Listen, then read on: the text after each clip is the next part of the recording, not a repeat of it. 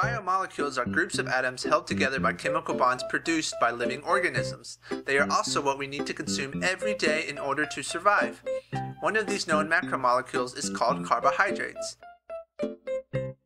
Ever hear people say they're going on a low carb diet? Or all I eat is sugar and carbs, you know, the bad stuff? Well, what they are talking about is food that contain high levels of carbohydrates, usually grains like pasta, bread, crackers, and even sweets such as cookies, candy, and cake. The word carbohydrate comes from the word carbon and hydrate, which are three elements that serve the basic building blocks carbon, hydrogen, and oxygen. Carbohydrates can be divided into three main groups monosaccharides, disaccharides, and polysaccharides. Monosaccharides are the most basic carbohydrates. They are the simple forms of sugar, such as glucose and fructose. A great way to remember this is to understand the parts of the name mono meaning single, and saccharide meaning sugar.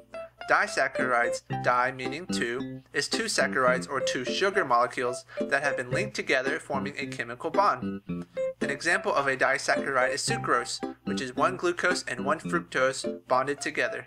Polysaccharides are carbohydrates that have many sugars bonded together. These types of molecules are great for storing energy, both for plants and animals. One type of polysaccharide plants use for storage is called starch, while animals like humans store them in the form of glycogen. Many people view carbohydrates as evil foods since they are diets that require low carb intake. However, it is a common source of energy humans use to function every day. It is like the fuel cars need to keep running. In fact, the energy it took to watch this video was probably from the carbohydrate you have eaten before. So this molecule is not entirely evil, but actually a good thing for us.